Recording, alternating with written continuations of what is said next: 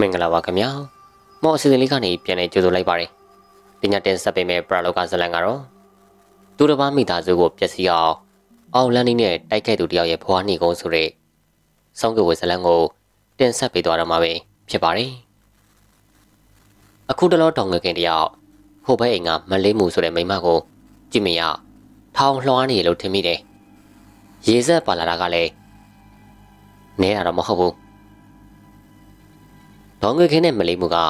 အင်ဂျင်ကက်ရက်တာမဟုတ်ဈေးထဲမှာလည်းအထယ်ဆိုင်ချင်းကကက်ရက်ဖြစ်တယ်မလေးမှုကနှုတ်ချုပ်ကစိတ်သဘောထားဖြူစင်သူမို့လို့သူမဆိုင်မှာဖောက်တယ်တွေများပြီးတော့ရောင်းဝါကောင်းသလောက်ဒေါငွေခင်းရဲ့ဆိုင်မှာတော့ဖောက်တယ်မရှိသလောက်ရှားပါတယ်စိတ်ထဲမှာလည်းမကောင်းမနာလို့စိတ်ကလည်းများနေတော့ဒေါငွေခင်းစီးပွားကတရေကြလာတော့မလေးမှုလို့စီးပွားရေးကတော့တရေရေထိုးတက်လာတယ်ဒေါငွေခင်းမှာ သားတစ်ယောက်သမီးတစ်ယောက်ရှိပြီးမလေးခင်မှာတော့သမီးလေးနှစ်ယောက်ရှိတယ်။ဒေါငွေခင်ရဲ့သမီးနဲ့သားကစိုးတလောက်မလေးမှုသမီးလေးနှစ်ယောက်ကတော့လိမ္မာကြီးချရှိတယ်။ဒီတော့ဒေါငွေခင်မလေးမှုတို့မိသားစုကိုမနာလို့မကောင်းချင်မှုစိတ်ကူးလာတယ်။ဒေါငွေခင်ယောက်ျားကလူပြင်းဖြစ်ကဘာမှမလုပ်ခွင့်နဲ့မိမလှုပ်စာကိုထိုင်းစားတယ်။မလေးမှုယောက်ျားကတော့ကန်ထရိုက်လုပ်ငန်းလုပ်ပြီးဖျားတရားမြဲတယ်။မနက်မိုးလင်းတာနဲ့ မလေးမှုအိမ်ဘက်ကဖျားတန်တရားတန်ကြားပေမဲ့စန့်ကျင်ဘက်ဒေါငွေခင်အိမ်ဘက်မှာတော့ရံပြစ်တန်နဲ့အိုးခွက်ပကံလွှတ်မြစ်တန်တွေစုံညံနေတော့တနေ့မှဒေါငွေခင်လင်များနဲ့မလေးမှုတို့မိသားစုတို့ချန်စီယိုကတဲ့ကိစ္စနဲ့စကားများတယ်။လောဘကြီးတဲ့ဒေါငွေခင်သူတို့လင်များကမလေးမှုတို့မြေကြီးကိုခိုးလို့ပို့ပြီးယူလာကြောင်းအခုလိုဖြစ်ကြတာ။တခိုးကလူပြန်ဟစ်တယ်လို့ပဲဆိုရမလို့ဒေါငွေခင်ကလည်းဆဲဆိုတယ်လို့ဒေါငွေခင်ယောက်ျားကလည်းလက်သီးလက်မောင်းတမ်းပြီးထိုးမဲ့ကြည့်မဲ့ဖြစ်တယ်။ ရှက်တက်တဲ့မလေးမှုတို့မိသားစုကအလျှော့ပေးလိုက်တယ်။ဒီကိစ္စကရက်ွက်ရုံကိုရောက်သွားတာအကျယ်ကျယ်မဖြစ်ပေမဲ့သူတို့မိသားစုနှစ်စုကအမုန်းပွားစရာဖြစ်သွားတယ်။ဒီတော့လေဒေါငွေခင်းတယောက်မလေးမှုတို့မိသားစုပျက်စီးရပျက်စီးကြောင်မကောင်းချင်မှုအကြံပေါ်လာတယ်။အဲ့ဒီကြံကိုကောင်းတယ်ဖို့အစွမ်းထက်တဲ့အောက်လန်းဆရာတယောက်ကိုဒေါငွေခင်းအသေးတန်ရှာတယ်။နောက်ဆုံးမှာမိတ်ဆွေတယောက်ပြောတဲ့အောက်လန်းဆရာအိမ်ကိုရောက်သွားတယ်။အောက်လန်းဆရာကလူလက်ပိုင်းရွယ် သူ့အိမ်မှာအစီအများစွာပြုလုပ်ထားတာကိုတွေ့ရတယ်။နေတာကလည်းမြို့ပြင်ဆိုတော့ခြံကျဲတဲ့ခြံထဲမှာအပင်ကြီးတွေအုပ်ဆိုင်ကစိုက်ထားပြီးအပင်တွေကလည်းအစီအနေကျိုးတွေချီထားတာတွေ့ရတယ်။ခြံထဲကိုရောက်တယ်ဆိုရင်ပဲအမျိုးမြင့်မသိရတဲ့ခန်းစားမှုမျိုးဒေါငွေခင်ရပြီးတော့ခြံစင်စင်ဖြစ်သွားတယ်။ဒေါငွေခင်ကအောက်လန်းဆရာကိုဆရာကျမအိမ်ဘေးကမလေးမှုတို့မိသားစုကိုစီးပွားပြအောင်အိမ်သားတွေဒုက္ခရအောင်လို့မိသားစုဝင်တွေတည်အောင်လဲရက်ထဲမှာနလန်မထူအောင် လုပ်ပေးပါငွေဘလောက်ပဲကောင်းကောင်းကျမပေးပါမယ်ဒီမိသားစုပြောင်းလဲသွားမှကျမစိတ်ချမ်းသာမယ်လို့ပြောတော့အောင်လန်းဆရာပညာကိုလည်းလက်တွေသိကျင်မိတိုင်းဒါကြောင့်ဆရာကိုကျမယုံပါတယ်ဆရာအစွမ်းလေးကိုတီးပြစေဒီလိုပြောတဲ့အောင်လန်းဆရာကသူ့အစွမ်းကိုပြတဲ့အနေနဲ့ကြိုးတစ်ချောင်းယူလို့မမ်းမှုတ်ကဘာရင်မှမသိတဲ့ခွက်တစ်ခုတည်းကိုရေးနဲ့ကြိုးစားကိုတောက်တဲ့ခါမှာတော့အရန်ကိုအစိပ်ပြင်းနဲ့မဲနဲ့တောက်ပြောင်နေတဲ့မွေးတစ်ကောင်ဖြစ်သွားတယ် အဲ့ဒီမွေကချက်ချင်းမပြင်းထောင်လာတဲ့အခါမှာဒေါငွေခင်အလန်းကိုလှမ်းသွားတယ်။အမလီလှုပ်ပေါင်းဆရာကျမကိုလာပေါင်းနေအောင်မယ်။သူတစ်ပါးကသာဒုက္ခပေးမဲ့သူကကိုယ်တိုင်ရောက်မှသာအသေးကြောက်တကြတယ်။တဘိုးတဲ့သမားတွေဖြစ်တာမပူပါနဲ့ကျုပ်အမိတ်ပေးမှလှုပ်ရှားမှာပါ။ဒေါငွေခင်တယောက်အောက်လန်းဆရာအစွမ်းကိုအတော့ကိုသဘောကျသွားတယ်။ဒါနဲ့ပဲငွေတချို့တစ်ဝက်ကိုပေးကအောက်လန်းဆရာကိုတေချာမှာပြီးပြောတယ်။ဒီမွေးနဲ့တိုက်ရင်လူသိနိုင်လား။ ကျမကတော့သူတို့အိမ်သာတရားရောက်သေးမှဖြစ်မှာဒါမှအလုံးမလုံးနိုင်ပဲစီးပွားပြက်ပြီးတော့ကရောက်မှာတေချအောင်တော့လုပ်ပေးပါဆရာလူသေးရင်နောက်ထပ်ငွေလာပေးမယ်စိတ်သာချကျုပ်ဒီလို့လို့စားလာတာအန်တိုနေပြီမျိုးရိုးစင်ဆက်အောက်လန်းဆရာလှုပ်စားလာတာအိမ်လိပ်စာအတိကျတာပြောခဲ့ကျုပ်တပြည့်ကိုတိုက်မွေသွားပြီးလှုပ်ခိုင်းလိုက်မယ်ကနှိမ့်သူတယောက်တော့တေကိုတေမှာဒေါငွေခင်တယောက်ကျင်းနေသွားတယ်အောက်လန်းဆရာကိုလိုအပ်တာတွေမှားကြကပြန်သွားတယ် သူမစိတ်ထဲမှာတော့မတ်လေးမှုတို့မိသားစုဒုက္ခရောက်မှာကိုတွေးပြီးတော့ဝမ်းသာနေမိတယ်။ငွေခင်အကြောင်းသိစေရမယ်။ငွေခင်နဲ့တခင်နဲ့ရှိတယ်။စိတ်ထဲကနေလည်းအဲ့လိုကျင်းသွားတယ်။ကြောက်စရာကောင်းတဲ့စိတ်သက်ပိုင်းရှင်မလား။ဘောငွေခင်တယောက်အောက်လန်းဆရာအိမ်ကပြန်လာပြီးကလေးကဟိုဘက်အိမ်ကိုမတိမတာအကဲခတ်တယ်။ဘာအမင်္ဂလာတရင်များကြားလိုက်နုံနုံနဲ့စောင့်နေနေပေမဲ့ဘာမှထူမလား။တပတ်လောက်ကြာနေခါမှာတော့ဒေါငွေခင်အားကိုးတဲ့သမီးက ခြံထဲဆင်းနဲ့မွေကတ်လို့တေဆုံးသွားတယ်ဒီမှာနေတော့ဝခင်သူ့ရဲ့ဒေါသကငယ်တဲ့ကိုရောက်ကအောက်လန်းဆရာအိမ်ကိုရောက်သွားတယ်အောက်လန်းဆရာကလည်းသူ့တပည့်ကိုခေါ်မိရာအိမ်နံပါတ်35နဲ့36ကိုမှားခဲ့ခြင်းဖြစ်တယ်ဒေါငွေခင်အိမ်နံပါတ်က35ကန်ဆိုးကျင်တော့9နေရာမှာအစုံတစ်ခုပေးလို့6ဖြစ်နေတာကြောင့်အောက်လန်းဆရာတပည့်ကအစီရင်ကိုဒေါငွေခင်ချန်တဲ့ကိုပြစ်ထည့်ခဲ့ခြင်းဖြစ်တယ်ဒေါငွေခင်လည်းအောက်လန်းဆရာကိုသူ့သမီးတက်ကိုပြန်ရှင်းအောင်လုပ်ခိုင်းပေမဲ့ အချိန်လွန်သွားလို့မရတော့ကြောင်းဒေါငွေခင်တယောက်စောက်တရားမရဒေါသဖြစ်ကအောက်လန်းဆရာကိုနင်ကပါဆရာလဲနင့်ကိုတရားဆွဲမယ်တုံးစားမရတဲ့အလက်ကဆရာအခုငါငွေတွေပြန်ပေးနင့်ရဲ့စကွက်ပြအောင်ငါလုပ်ပြမယ်ဒေါငွေခင်ကအော်ကြီးကျအတန်ကုန်ဆဲဆိုကအောက်လန်းဆရာအိမ်ကပစ္စည်းတွေကိုပါကင်ပေါက်တယ်ဟိုးနိုင်ကျဲပြီးတောင်းညံ့တယ်အောက်လန်းဆရာအိမ်ရောက်နေသူတွေလည်းအရှုပ်ရှုပ်ပြန်သွားတယ်ဒါကြောင့်အောက်လန်းဆရာကဒေါငွေခင်ကိုမျက်ထောင်နေကြီးနဲ့ကြည့်ပြီးကြမ်းခဲ့တယ် အာကုသူဆိုတာအဖေါ်နဲ့အပေါင်းနဲ့လာစမြဲမို့လို့သမီးတည်ပြီးတလားကြာမှာတော့ဒေါငွေခင်အရန်ကိုချစ်တဲ့သားကညဘက်အရက်မိုးကပြန်လာရင်ကားတိုက်ပြီးတေဆုံးပြန်တယ်သူများသားသမီးတွေကိုတေးစေခြင်းခဲ့တဲ့အတ္တအရန်ကိုကြည့်တဲ့ဒေါငွေခင်တို့လည်းများအယုံမီဝမ်းဖြစ်ကအရန်ကိုစိုးဝါတဲ့တောကတွေကိုခံစားရတယ်။မသူမပြုတ်မမိမိမိမူဆိုတဲ့မကောင်းမှုကမိမိကိုပြန်ပြီးအကျိုးပေးတာကိုဒေါငွေခင်လက်မခံနိုင်ပြင်းထန်တဲ့မနာလိုစိတ်တွေ ဒေါငွေခင်စိတ်ကိုဖောက်ပြန်စေတယ်။အဲဒီခါမှာအိမ်ထဲမှာလည်းမွေးတကောင်ကိုဟိုနေရာမှာတွေးလိုက်ဒီနေရာမှာတွေးလိုက်ဒေါငွေခင်တို့လင်မယားလည်းကြီးလက်စာစားနေရတယ်လို့နေမထိထိုင်မသာဖြစ်ကငွေကိုတက်ဖို့စူးစမ်းရမှလဲမျက်စိရှိမှတိုင်းပြတ်ပေါက်သွားတယ်။ကြားတဲ့ခါမှာတော့ဒေါငွေခင်တို့လင်မယားမွေးကိုက်သိမ်းမှဆိုလို့တွေးပြလာတယ်။မကြွလို့တဲ့သားနဲ့သမီးကိုလည်းမကြခဏတွေ့နေရ။သမီးရေအမေကိုတယောက်တည်းမထားခဲ့နဲ့နော်။သားရေ အမေစီကိုလာပါအောင်ကွယ်။ဒေါငွေခင်တယောက်တယောက်တည်းစကားတွေပြောရင်းနဲ့ရီလိုက်ငိုလိုက်နဲ့စိတ်မကိုင်းတဲ့ဒေါငွေခင်တယောက်နောက်ဆုံးမှစိတ်ကျမ်းမာရေးစိတ်ကိုရောက်သွားတယ်။မြန်မာပြည်ကအထက်လန်းဆရာတွေအောက်လန်းဆရာတွေအကြောင်းကိုရှောက်စဉ်းစားရင်းကနေကလွန်သွားရပြီဖြစ်တဲ့ပါကြီးဝမ်းဝတ်တော်ဆက်သူတယောက်ကိုတွားတရရမိတယ်။ပါကြီးဆိုပေမဲ့တကယ်ပါကြီးအရင်တော့မဟုတ်ဘူး။ကျွန်တော်အဖွားဘက်ကအကိုဖြစ်သူတူရဲ့မွေးစားတာပါ။သူရဲ့နေထိုင်မှုပြောဆိုပုံက ကွာကြတယ်ဆိုပြီးဘယ်မှာရှိတဲ့ရွာကဆွေမျိုးအလုံးကသူ့ကိုအော်ကြောလက်နေ။သူ့မယားကြီးတော်ကကျွန်တော်အဖိုးဘက်ကနေဒူမတော်ဆက်တယ်။လိုရသည်ကြောင့်ပိတ်လို့ရွာကိုအလဲသွားရင်တော့ဘာကြီးဘက်ရောကြီးကြီးဘက်ပါဆွေမျိုးတော်ဆက်တဲ့ကျွန်တော်တို့မိသားစုပေါ်တော်တော်လေးကိုဖော်ရရှာတယ်။ဘာကြီးစီမှာလူအများမုံတီးချင်းခံရတဲ့အကျင့်တစ်ခုရှိတယ်။အဲ့ဒါကသူမှန်တယ်လို့ထင်ရင်လူရှိမရှောင်သူရှိမရှောင် စွတ်ပြောလို့ရှိတဲ့အကျင့်မှာဒီအကျင့်ကသူ့ရဲ့မွေးရပါအကျင့်လို့ဆွေမျိုးတွေကဆိုတယ်။လဲစဉ်သူ့ရဲ့အရေးဒဇက်မိအောက်မှာရှိတဲ့ကုတ်ပြပေါ်မှာရင်းနှီးချံအိုပစုံချောင်းလေး၅កောင်ပါတဲ့လက်ဖက်အသားစီစဉ်ပလင်းဆက်လေးခွက်ကွန်အင်းဒါတွေခင်းပြီးခြံရှိမှာဖြတ်သွားသူမှန်သမျှကိုခြံထဲကိုစိုးအတင်းခေါ်ရွာကကောင်းစီလူကြီးမကောင်းကြောင်ဆန်းဆက်ရွာကဟာလာလို့ခေါ်တဲ့ဆန်းဆက်ငယ်စားပိုင်ရှင်တွေကစင်းရဲသားလယ်သမားတွေပေါ် ခေါင်းပုံဖြတ်အမျက်ကြီးစားကြောင်မမောနိုင်မပတ်နိုင်တရားဟောနေကြတာရွာမှာနေပြီးနေ့စဉ်တို့သတင်းစာလို့အမြဲဖတ်သူ BBC ကလွှင့်တဲ့ရေဒီယိုကိုအမြဲတမ်းနားထောင်လေးရှိတယ်။သူ့ရဲ့နဘေးမှာလည်းသူ့ကိုချစ်ခင်တဲ့သူတွေအများကြီးရှိပါသေးတယ်။ဘာကြီးတို့လည်းမြန်မာသမီးတယောက်ပဲရှိတာ။ကျွန်တော်မှဝမ်းခွဲကကျွန်တော်တိတက်ဆအရွယ်လောက်မှာပဲသူတို့ရွာကတော်တရေသားတအုပ်နဲ့အိမ်အောင်ကြတယ်။သူ့ယောက်ျားကလည်း ခက်အေးအေးနေတဲ့သူဒါကြောင့်မိဘတွေဖြစ်တဲ့ဘာကြီးနဲ့ကြီးကြီးကိုအိမ်ဦးကမှထားပြီးတော့အပူပင်မရှိအောင်လှုပ်ကြွေးပြုစုတယ်အိမ်အောင်တဲ့သူ့သမီးအိမ်ကဘာကြီးတို့နဲ့အင်ဂျင်ကက်ရက်ဘာကြီးကသူ့သမီးအိမ်မှာထမင်းစားချိန်ရောက်မှသွားစားလေးရှိပြီးကြံတဲ့အချိန်တွေမှာတော့သူ့အိမ်မှာသာနေလေးရှိတယ်ဒီလိုနဲ့တနေ့မှာတော့ကျွန်တော်ဆွေမျိုးတွေစီကနေတရင်တစ်ခုကြားတယ်အဲဒါကဘာကြီးတို့အိမ်ကိုသူတစ်ပါးကအောင်လန်းနေနဲ့ပြူစားထားလို့ညာဘက်ဆိုဘယ်သူမှနေလို့မရဘူး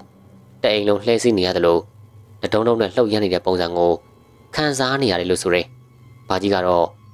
ပဲခူးတိုင်းဟော်မြို့နယ်ပိုင်ရွာတစ်ခုကသူ့တငယ်ချင်းအလှူအိမ်ကိုအလဲသွားနေတော့မှ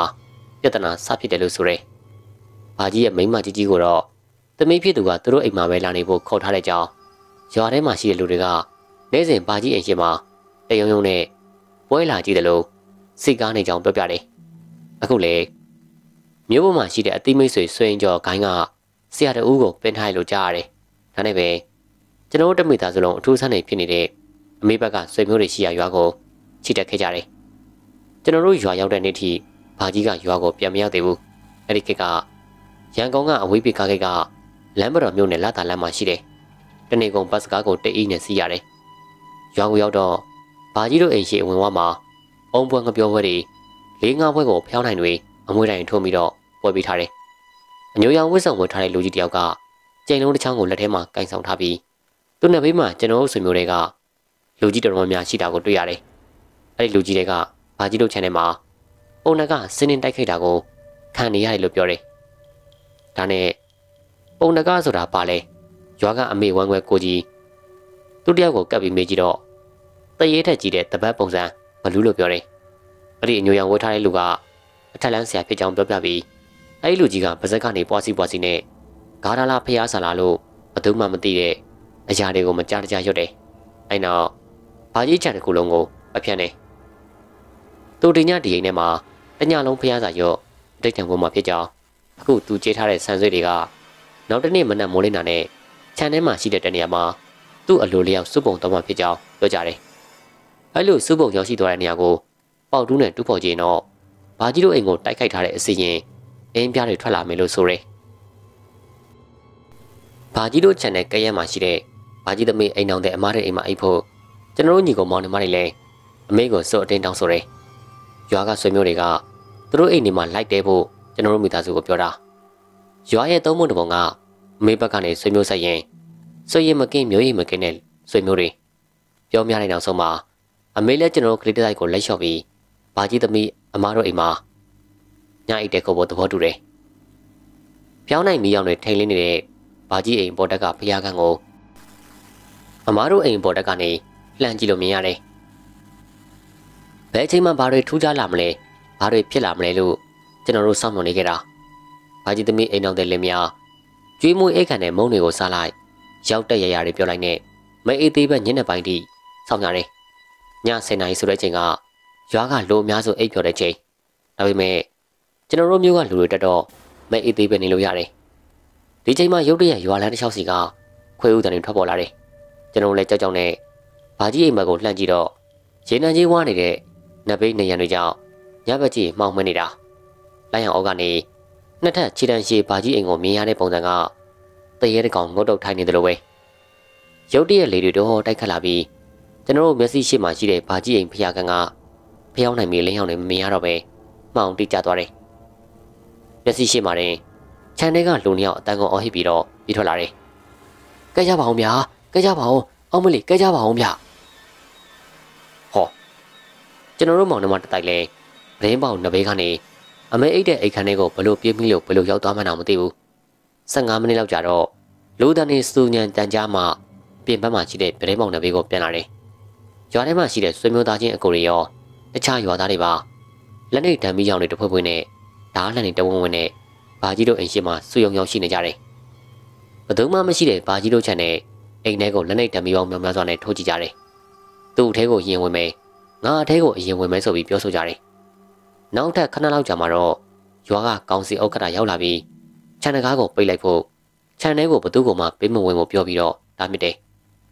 မနက်မိုးလင်းချိန်မှာတော့ဘာကြီးရဲ့အိမ်ထဲကိုရွာဦးကျောင်းကဆရာတော်ကြွလာပြီး ပရိတ်တရားတွေရွတ်ဖတ်တယ်။အဲ့ဒီနေ့လည်းမှာပဲကျွန်တော်ရဲ့အချစ်တော်ဘာကြီးတယောက်မကုန်းမှာနေထိုင်တဲ့သူ့တငယ်ချင်းအလူကနေပြန်လည်ရောက်ရှိလာတယ်။ဘာကြီးပြန်ရောက်တယ်ဆိုရင်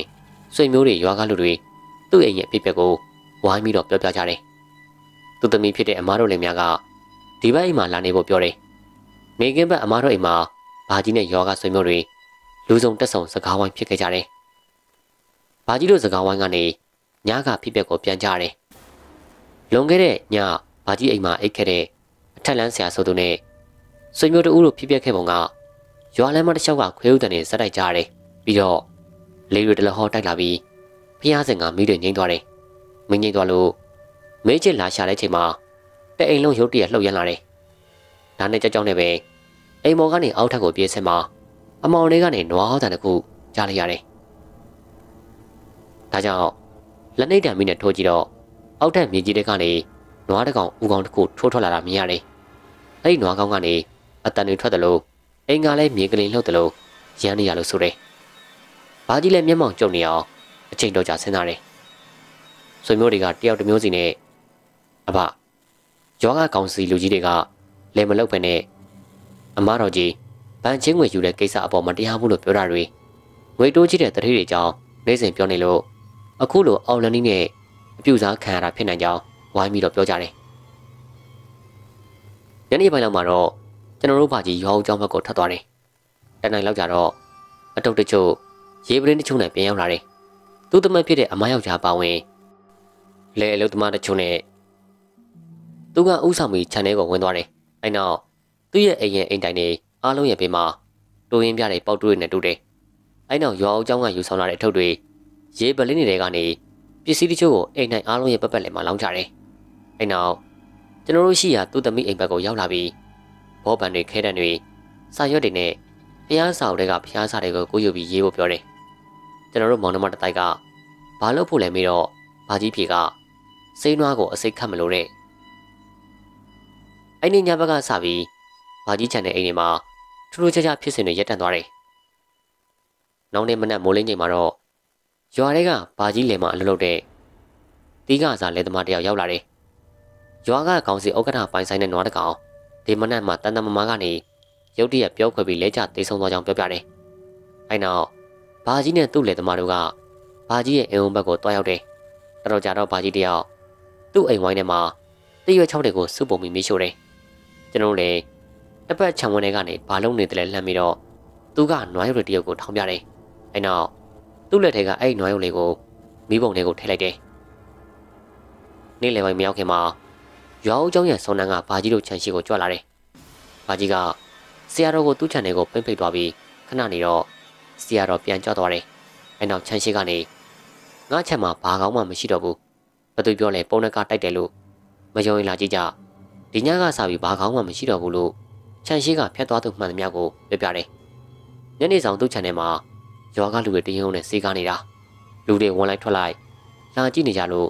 ကျွန်တော်ကလေးတစ်တိုက်လဲဘာကြီးခြံဘက်ကိုတွားကြည့်တယ်။သူ့ရဲ့အိမ်အောင်တိုက်မြေကြီးတနေရာမှာတွင်းထူးထားသလိုဖြစ်နေတယ်။အဲ့ဒါဘာလဲဆိုတာမေးကြည့်တော့စိန်နွားကိုတူးဖော်လိုက်တဲ့နေရာလို့ဘာကြီးကပြောပြတယ်။ဒီလိုနဲ့ညဘက်အမေတို့အိမ်မှာတဲခုန်နေတဲ့ကျွန်တော်မိသားစုထံဘာကြီးရောက်လာတယ်။ဒီတော့မှကျွန်တော်တို့လည်းသိကျင်တာတွေကိုမေးခွင့်ရတယ်။သူ့ချက်ကိုသူတစ်ပါးကအော်လိုင်းနဲ့ပြုတ်ထားလို့ သူလည်းဒီလိုယူဆတယ်။ဒါကြောင့်သူ့အိမ်မှာလာအိတ်သွားတဲ့ပယောကကုတဲ့ဆရာကိုမြင်တွေ့ခဲ့ပုံကိုသူစဉ်းစားကြည့်ပြီးစိန်နွားလို့ခေါ်တဲ့ပယောကနေနဲ့လောက်တာဖြစ်လိမ့်မယ်လို့သူယူဆခဲ့တယ်။ဒါကြောင့်ရွာဦးဖုံးเจ้าကစုံးစံနေခြင်းကိုဆရာတော်စီကနေလှူခံခဲ့တယ်လို့ဖုံးเจ้าဖျားစင်ကတောက်တော်ကြီးအဟောင်းတွေကိုစွတ်ပြီးပလင်းထဲကိုထည့်ယူခဲ့ကြောင်းအဲဒီနောက်အဲ့ဓာတွေကိုအိမ်တိုင်အားလုံးရဲ့ပပတ်လည်မှာမြေကြီးကိုနည်းနည်းချင်းစီတိုးပြီးလောင်းထည့်ခဲ့တယ်။သူ့ရဲ့အိမ်အောက်ထက်အလဲတင်နေမှာကောက်ရိုးတွေစုပုံပြီး ကျွန်တော်တို့ကူးရေးပေးတဲ့ဖျားစာဆာရွက်တွေကိုကောက်ရိုးပုံမှာထည့်ခဲ့ကြောင်းပြီးတော့မနက်မိုးလင်းချိန်အဲ့ဒီကောက်ရိုးတွေထားခဲ့တဲ့နေရာကိုပေါက်တူးနဲ့တူးကြည့်တော့နှီးနဲ့ရဲလောက်ထားတဲ့နွားရိုးတယောက်ကိုတွေ့ရကြောင်းဒါနဲ့မီးဖို့ပြီးအဲ့ဒီနွားရိုးလေးကိုမီးရှို့ပစ်ခဲ့ကြောင်းသူကပြောပြတယ်။ဒါနဲ့ကျွန်တော်တို့ကအဲ့ဒီစိမ်းနွားအကြောင်းကိုမေးကြည့်တော့ရွာမှာမီးမပွားနိုင်လို့တိတ်ဆုံပြီးအာသုဘဖြစ်လာရင်မိတကြိုလေးရှိကြောင်းအဲ့လိုမိတကြိုတဲ့ခါမှာအာသုဘရုပ်ကောင်ရဲ့ခန္ဓာကိုယ်ကို မြန်မြန်ပြဖြစ်အောင်ပြုလုပ်ရကြောင်းအစီပင်တွေကိုဝါနဲ့ထိုးဖောက်ရကြောင်းအဲ့ဒီဝက်လုံးကိုအောက်လန်းဆရာတွေအသုံးပြုလို့မရအောင်ရွာအုပ်ကျောင်းမှာတိမ့်ဆဲလေးရှိကြောင်းနဲ့အဲ့ဒီဝက်လုံးကိုအောက်လန်းဆရာတချို့ကခိုးယူပြီးနှီးဖြစ်အောင်အရင်ရက်ကြောင်းနှီးဖြစ်လာတဲ့အခါမှာနှီးနဲ့နွားရုပ်တရုပ်ဖြစ်အောင်ပြုလုပ်ကြောင်းနွားရုပ်လေးလုပ်ပြီးချိန်မှာတော့အသက်သွင်းရကြောင်းတကယ်နွားစစ်နဲ့တူလာပေါင်းများစွာအတူထားရအဲ့နောက်အောက်လန်းဆရာတွေက